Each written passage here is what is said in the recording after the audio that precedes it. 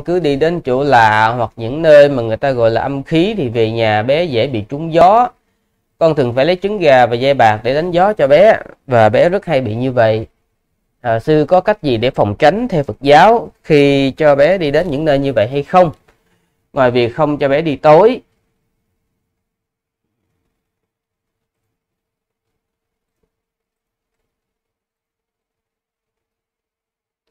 À, như thế này.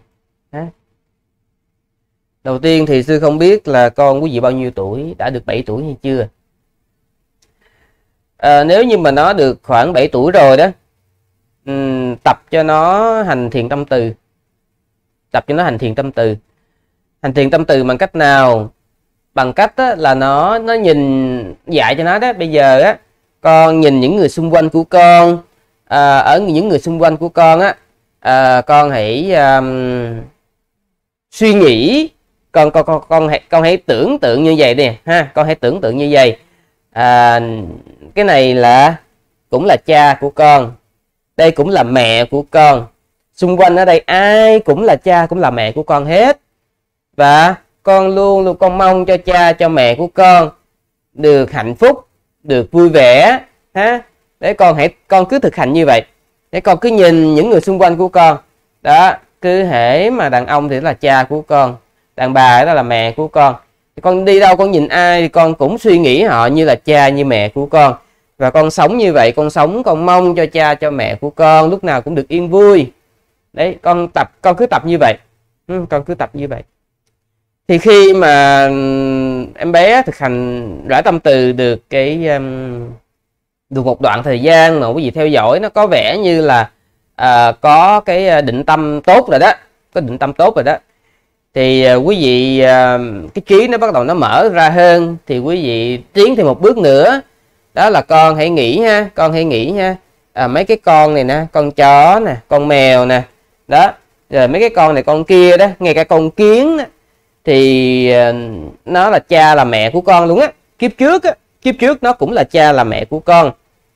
À, cho nên con con thương cha con con thương mẹ con con mong cho cha con mong cho mẹ con được yên vui. Cho nên là con không có hại. Con lúc nào con cũng kính trọng cha mẹ con hết. Đây cũng là cha là mẹ con ở kiếp trước hết á. Đấy. Rồi như vậy bé nó bắt đầu nó thực hành đại tâm từ đến những cái loài thấp hơn. Rồi khi qua một đoạn thời gian mà quý vị thấy là cái trí của nó em bé đó nó tăng trưởng hơn nữa thì quý vị uh, tiến thêm một bước là nói có những có những người á có những người đó mà con không thấy con không thấy ờ, họ giống như họ tàn hình ấy. Á nhưng mà có có chẳng qua là con không thấy thôi. À, thì con suy nghĩ như vậy. À, thì những người đó đó cũng là cha của con cũng là mẹ của con trong những kiếp trước. Và con mong cho cha con mong cho mẹ con được yên vui. Thì lúc nào con cũng rẽ tâm từ lúc nào con cũng sống ở giữa cha mẹ con hết. Cho nên dù cho con ở trong phòng một mình đi chăng nữa thì xung quanh của con á, lúc nào cũng có cha lúc nào cũng có mẹ hết. Cha mẹ á, là cha mẹ của con đời này thôi. Còn còn con còn có những cha mẹ trong đời trước nữa. Và cha mẹ trong những đời trước á, luôn luôn ở bên cạnh con ha. Cho nên con cứ suy nghĩ là con luôn có cha ở bên cạnh luôn có mẹ ở bên cạnh. Và con luôn kính trọng và con luôn mong cho cha mẹ con được yên vui được hạnh phúc ha. Đấy thì khi quý vị tập cho bé nó đã tâm từ như vậy đấy Ừ, cái tâm nó sẽ được à, vững. Nó tâm nó sẽ được vững.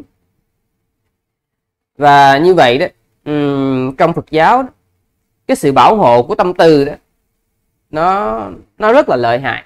Nó rất là lợi hại ha. Và cái người có tâm từ á đi đến đâu thì cũng không có một cái chúng sanh nào có thể ghét được chứ đừng có nói là hại họ. Đấy còn nếu mà bé nó, nó nhỏ hơn 7 tuổi chưa tới 7 tuổi thì thôi thì cứ ờ, tránh được thì tốt ha, tránh được thì tốt. Tuy nhiên á à, ngoài cái chuyện hướng dẫn con của quý vị rải tâm từ bản thân quý vị cũng nên tập rải tâm từ. Bởi vì khi quý vị rải tâm từ thì quý vị có thể bảo vệ được chính bản thân quý vị đã đành rồi. Quý vị còn có thể bảo vệ được những người xung quanh của quý vị nữa ví dụ như là con của quý vị sống trong tâm từ.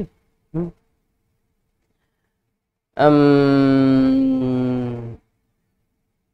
cái cách rã tâm từ của người lớn á thì uh, nó nó cũng không khác nhiều. Nhưng mà thay vì quý vị quán tưởng à, đây là uh, cha đây là mẹ thì những người đó bằng tuổi mình cho đến lớn hơn mình thì quý vị có thể quán họ như cha như mẹ. Còn những người mà nhỏ hơn mình ấy quý vị có thể quán tưởng họ như là con ruột của mình. Mình không đây chỉ là đứa con trong cái đời này thôi. Nhưng mà mình còn có rất nhiều những đứa con nữa. Đấy ngay cả con kiến con gián nó cũng là con của mình trong nhiều đời nhiều kiếp. Đấy những cái đứa bé xung quanh những người nhỏ xung quanh họ cũng là con của mình trong nhiều đời nhiều kiếp. Và ngay cả những cái chúng sanh à, khuất mặt khuất mặt à, họ cũng là con của mình trong nhiều đời nhiều kiếp. Khi đó đó ở đâu nó cũng là con của mình hết, chứ không có riêng gì cái đứa bé hiện tại đang ẩm đang bồng. Cho nên để tâm từ cho tất cả những đứa con ở xung quanh của mình sống trong cái tâm của một người mẹ và mong cho những đứa con được sự yên vui và mong cho những đứa con đừng có khổ, nếu có khổ rồi thì tránh đi những sự đau khổ. Như vậy là quý vị rải tâm từ cho chính mình và có thể bảo vệ được những người xung quanh ha.